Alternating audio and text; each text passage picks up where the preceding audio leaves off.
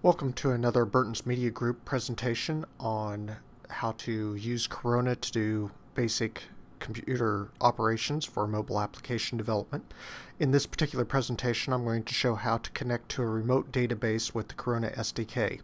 In this process I'm going to connect to a re remote MySQL database that's located on a remote server through a PHP file. Using that PHP file I'm going to process the data, convert it into a JSON file, store that data then locally in, utilizing Corona in a SQLite data file, and then read it all back in from the SQLite database and display it upon the screen. So let's get started. Now, this process that I'm talking about is known as typically as a three-tier architecture application. In a three-tier architectural application, we have a presentation or client tier, which in this case is going to be my mobile device, but quite often refers to a website or application on a remote computer. We also have a logic tier that is on a remote server and is handled by usually some type of scripting language. Um, in this case, I'm going to be using PHP because I like PHP, but it could just as easily be Python, Ruby on Rails, or whatever server-side scripting language you like to use. And then we're also going to have a database tier. On my data database, I'm going to use MySQL, though you could use Postgres, Oracle, uh, Microsoft SQL, whatever you happen to like. But I have MySQL installed on my server, so I'm going to utilize that. Now on our database tier, this is typically, as I've mentioned before, on a remote server or in the cloud. It can be on the same server as your middleware or your logic tier, in this case my PHP file. It should be designed to handle whatever your expected traffic is. So, and, and this of course referring to the server. The database needs to be able to handle whatever kind of traffic you're expecting for that application. Um, obviously, if you're expecting a lot of traffic, you don't want to be using Microsoft Access or something like that. MySQL, Oracle, uh, a professional grade piece of database software should handle whatever you're going to be doing. I'll be using my server that I use for hosting, and it's going to be using MySQL with a simple single table inside the database. Now on the logic tier, this can be the same or a different server, depending on whatever your security needs are or traffic expectation is. It can be any scripting language that can run on your server. It's going to control the flow of the information between the client and the server. That's basically what your middle tier or your logic tier is supposed to handle. It's providing a layer of security and protection between your client and your server. Uh, this is going to handle all the formatting, the interpretation of the information. In my particular case, it's also going to do the encoding, converting the information from the MySQL database into a JSON format to then be sent to the client, in this case, uh, Corona application running on an iPhone. Now, the client tier can be any kind of remote device. And as I just said, it, in my case, it's a mobile phone, could be an iPad, could be an Android device, uh, could be a, a, Windows device, whatever you're using for your client. I'm using the Corona SDK for my client side programming because I can develop with it about 10 times faster than I can natively with Java or Objective C. Um, I like the Corona SDK. I like it so much that I wrote a book on it. It's it's really easy to use. Um, it does allow deployment for multiple operating systems. It allows for faster development than your native, and it has built-in support for JSON and for various types of networking. So now let's take a look at what each of the tiers actually looks like in the development. My, I created a simple database using the PHP database administration software that comes with my server hosting, and I created the best movies of all time in my opinion. If you don't agree with me, I don't really care. I like these movies. I think they're some of the best. They're ones that I can watch again and again. So this is a simple MySQL database. It has only three fields in it, one table, nothing spectacular. I just threw four movies in it to show the process and that it was working. Single table database. This could just as easily be a much more complex database with hundreds of tables. Uh, the, the middleware handles all of that, so I'm not really considered, concerned about any of that type of information. On the logic tier, this is where we're going to be connecting to the database on that remote server. Um, I'm going to just simply create a loop to capture the data and format it into a JSON format and return JSON data to the requesting device. So here's my PHP. As you can see, I've I'm just I've got it hosted on the same host, so I can use the localhost command. Set up your username, set up your password, which no, I did not include those in this particular show, but you, you can try this experiment yourself and set your own database example and your own password and be able to go. My database name was my movies. I then create my MySQL Connect statement and do the call, set up the SQL statement, doing a select from best movies, putting the result of that query into a variable called result, and then we're going to create a a variable named JSON, which may not be the best name to use for that, but I use JSON for that, and we'll create that as an array, and then we'll just simply iterate through the rows that result from the SQL call and load those into JSON. Now, as you can see, this is dollar sign $JSON, left bracket, right bracket, so that it uh, creates it as an array, and each one of these is going to be bracketed into the information to be stored we close the database and then I echo back to the requesting client the JSON information that is does a JSON encode, again handled by the PHP software. On the client side, I'm using Corona Project Manager for my management of this particular application. And let's take a look at what the code does. Now, the best way to read any Corona application is usually from the bottom up, so I'm going to jump down to the bottom so that we can see it, since functions all need to be declared before they're actually utilized. I do create four variables in this particular application.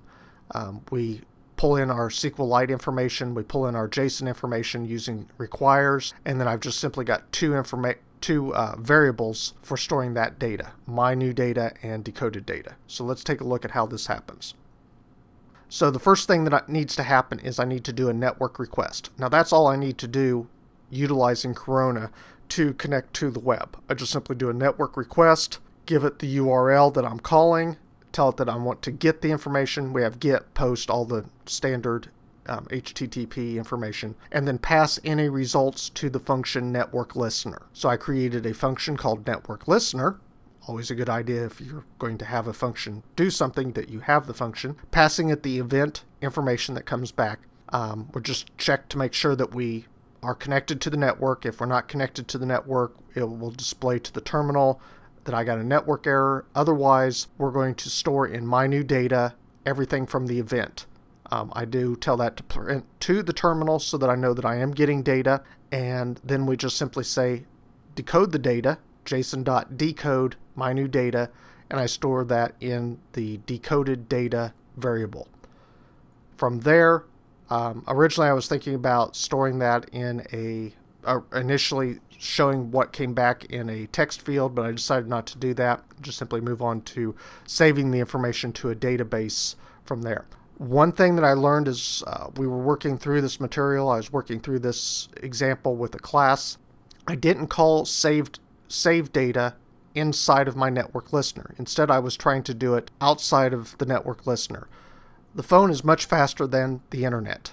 So it's a, was trying to process that information that had come in, decode that information, and save that inform information before there was actually any information to be saved. So once we moved save data into the network listener and it functions after we actually decode the data, there's actually data for it to process and then it can pass that information back. So that's always a good idea. If just in case you were curious about uh, why you were receiving data, but it wasn't processing any data.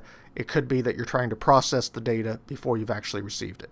Just simply put that as part of your call to that function as part of your network listener, and that eradicates the problem. Okay, so let's look at the save data function that I created for handling all that information. So what save data does is it's going to save my new data to a SQLite file. The first thing that we do is we check to see if, or we set up the path this is being stored in the system's documents directory. Always save anything that needs to be persistent in data to the documents directory. Uh, there's also a temporary directory, but there's no guarantee that anything that needs to be persistent will be there the next time in persistent directory. Uh, never save information to the same directory that's storing your uh, your actual code or your actual program in your sandbox because that's going to send off all kinds of viral alarms because data is changing in its location where the program's stored. That's a really, really bad thing, and that's usually something a virus would do. Uh, that'll usually cause your program to be locked out of the mobile device that you're working with, and you're no longer able to utilize it. So always save to documents directory. We'll do a call to SQLite3.open if the file does or if the database does not exist it will actually create it and then I just simply print to the terminal the path for where that was created at in case I need to find that on the simulator on the local computer system that I'm testing it on. We'll then create a table setup that checks to see if the table has been created. If it has not, it will create it. Otherwise, it's going to just simply create a table called My Movies uh, it's just going to have a primary key, the name of the movie, and the year, and then executes the setup. Then we're going to iterate through the information that came from my decoded data. I created a counter, set it equal to 1, and then we're going to iterate through the movie information that's been returned utilizing the JSON file.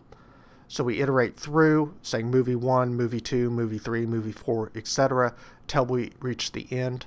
I do check with the while statement if the movie that we are loading in is equal to nil. That means we've reached the end of the list and there's no sense in trying to add additional information. So assuming that there's value in the movie, we're going to load that into the My Movies table, passing it the movie information the title and the name, and then executing that, I increment my counter, increase the movie counter information, and then continue the while. That should save and has in the past saved everything to my SQLite database, so we can close that database. And then just to go one more step to show that the information has all been saved to the local device, I then I close it and then I reopen the database and pull the information from my movies and display it to the screen just as uh, a standard new text. Here, here we just simply do a for rows for the number of rows that are in the database returned. We we just simply build a simple text information, which is the name of the movie and the year the movie was uh, released, and then display that to the text. So let's launch it, and there we go pulling all the information from the remote server, then passing it back to the actual device itself. Now, if you're curious to see some of the print statements, I do have those here as well. You can see it pulled where, where it's storing my Corona information and through the simulator where it's created the database. From the server, I receive the JSON formatted information, which is movie 1, movie 2, movie 3, and movie 4, which is why I did the formatting in, in the saving of the information as I was iterating through it, uh, passing it all the field information Fiddler on the Roof, The Matrix, The Princess Bride, best movies ever, Monty Python and the Holy Grail. And then we show the path where it's going to create the SQLite database, does a call to create the table, creates the table, and then we insert into the movies the, the four movies, and we're done.